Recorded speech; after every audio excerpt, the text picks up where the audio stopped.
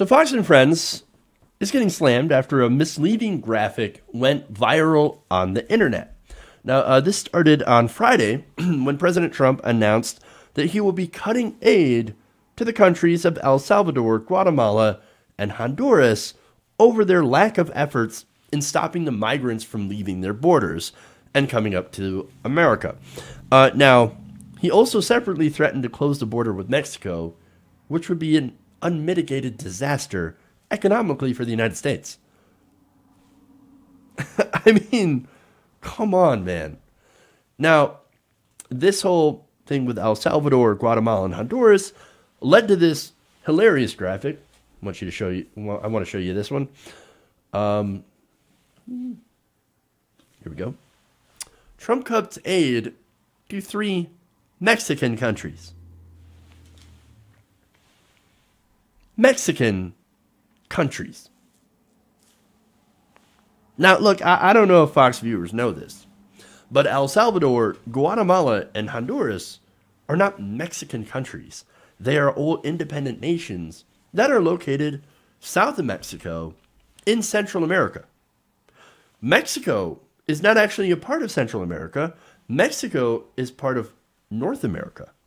I know that sounds weird because what are you talking about? Mexico is south of us, but still part of North America. And again, these countries are Central America. So, little geography lesson, right? Now, another fun fact here, since that's what we're doing. Uh, many of the migrants coming to the U.S. are doing so. Well, first, they're coming and claiming asylum because of horrific conditions. Now, for that, you have gang violence, rampant poverty, political upheaval, uh, governmental corruption. These are just some of the conditions that are making people, forcing people from their homes. Now, think about if you're in that position, right? So, think about it. if you're worried about the gang violence. Now, they the right wingers love to think about Chicago, right? So, what if people in Chicago decide they want to migrate up to Canada, right? In order to get rid of uh, or, or to get away from that gang violence. You'd be okay with that, wouldn't you? Uh, maybe Canada wouldn't be. But right wingers, you probably understand, right? Or maybe you wouldn't. But it's kind of like that. You have gang violence, you have people being murdered and recruited into gangs. I mean, if they're not, if they don't actually join the gang, then they and their families get brutally murdered. You get political repression, massive corruption, it's not a good place to live at this moment. And a lot of it is actually our fault because of our war on drugs that has failed. And of course, we have meddled in the affairs of some of those countries down there as well. Uh, so, look, it's it's not a good not a good situation for migrants. And so, yes, they are coming through Mexico to America. Now, the United States in recent uh, years has said, okay, here's what we're going to do. We're going to give aid to these countries. We're going to give them, you know, a couple billion dollars, help them out, try to stabilize their countries a little bit. And so make it so that migrants don't want to come here, right? Now Trump says, I'm going to take away that aid. Well, wait. So if you take away that aid, wouldn't that lead to potentially more people migrating to the United States to get away from that? Trump might, might want to think about that for a second here. I mean, it would make sense. Uh, and while he's thinking about that, while he's kind of mulling it over, I'm going to read a few of these awesome responses to this ridiculous graphic. Kimberly Phillips said, I woke up this morning thinking there was only one Mexican country. Thanks, Fox News, for the education. Mm. Stephanie Rule said, Can't help but feel a little disappointed. It was great to spend spring break with my family, but we only got to see one of the three Mexican nations. Hashtag better luck next time. Uh, Casey's Notion says, Quick, someone asked Fox News which continent Mexico is on, which is great. Dr. Keisha B says, North Mexico, South Mexico, and Mexicopotamia. Oh, I like that. and uh, Max Kennerly points out an injustice here.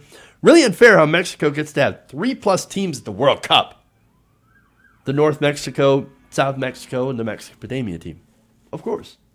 And Paolo Ramos says, quote, that is how they see us at Fox News. Mm. So I love that last point because I think most of the narrative around this is how stupid the people at Fox are for putting up that graphic. I actually disagree. And this is what's interesting. I actually think that this is on purpose. This is targeted. I think it was intentional. Fox News has shown that it is a propaganda outlet. And so now later on you can point out, but wait, Jeff, that doesn't make any sense because Fox News apologized for making that mistake. But did they? Just because you apologize for something doesn't mean you didn't do it on purpose. That it was an accident. Um, now you might be wondering, but why would they do that? Why? Well, it's because they know their audience. They do. We know that Fox News viewers are less informed than viewers of any other cable news channel. People who don't watch Fox News at all are actually better informed than Fox News viewers. And why is that? Because Fox News has an agenda, right? They know their audience. And so when they label these countries as Mexican nations, they know that that's going to click in the brains of some of their viewers.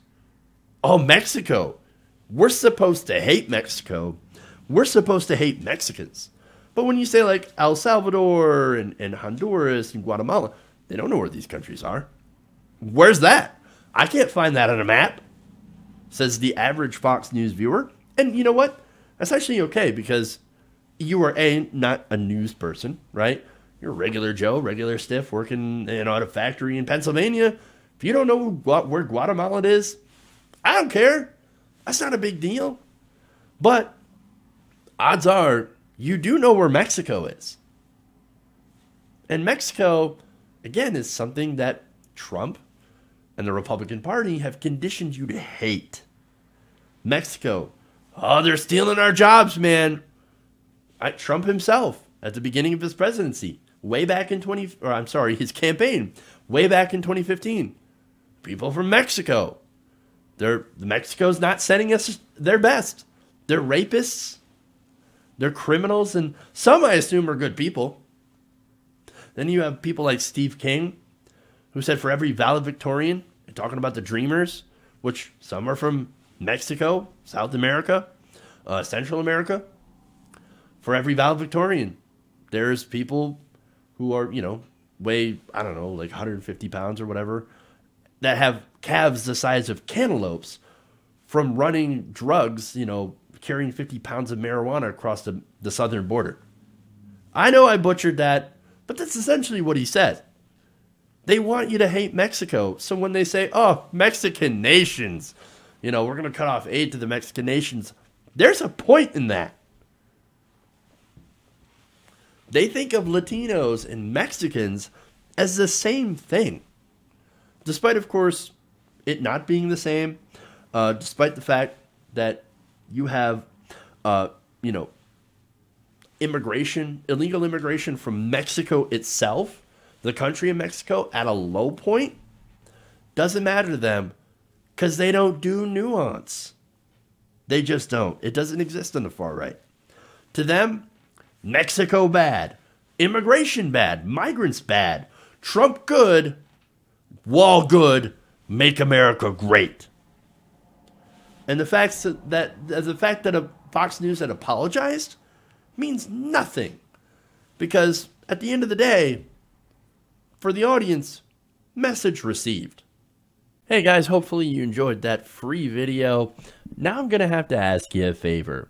Between the uh, demonetization and the YouTube algorithm messing around with view counts, etc., we're having a hard time adjusting to the new YouTube reality, which is where you guys come in. See, we have a Patreon, patreon.com slash tytnation, set up to help us rely on the, you guys, the viewers, instead of big corporate ads. Look, you know the show. You know I'm not in favor of big corporations anyway. So help us transition away from relying on the ad model to pay the bills and sign up to be a patron, patreon.com slash tytnation. That goes a long way to help us keep the lights on. and you guys will know that you're supporting independent progressive media.